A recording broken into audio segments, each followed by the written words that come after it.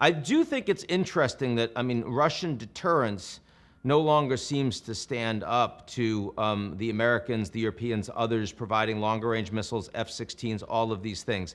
I, I have seen uh, growing levels of uh, saber rattling, nuclear saber rattling, from people like former Premier President Medvedev, some from President Putin himself. And I'm wondering how you think about the Russian nuclear force slash deterrent, the largest in the world, and the role that it does or should play?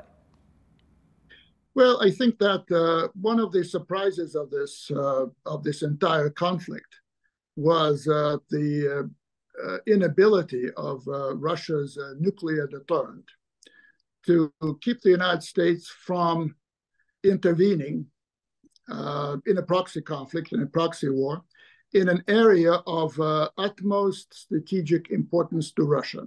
Ukraine is a huge place. It's uh, it's the largest country in Europe outside of yeah. Russia.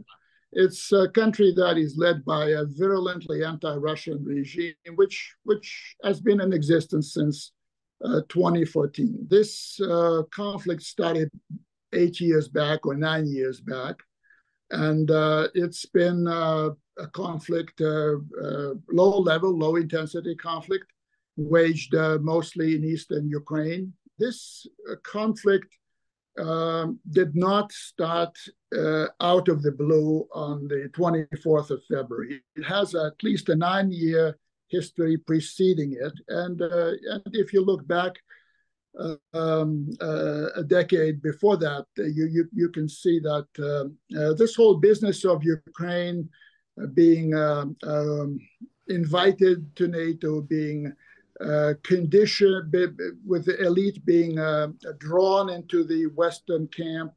Uh, this was a challenge that essentially no Russian leadership would have would have been able to tolerate. So again, the Ukrainians should not, a country should not have a sovereign right to decide which strategic alliances it wishes to be a part of. That's that's the perspective, right? When uh, when the Ukrainian leadership was uh, uh, negotiating uh, NATO membership for Ukraine, the idea of NATO membership was supported by a minority within Ukraine, and yet the leadership uh, was very much pushing that forward.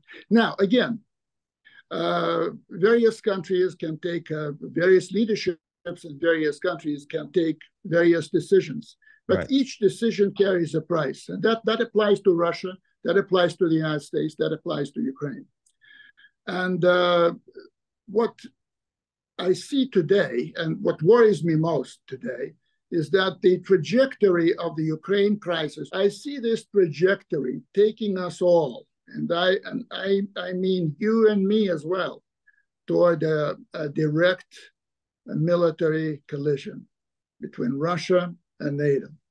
And if there's such a collision, then um, you know an exchange, a nuclear exchange between Russia and the United States may not be seen as a fantasy.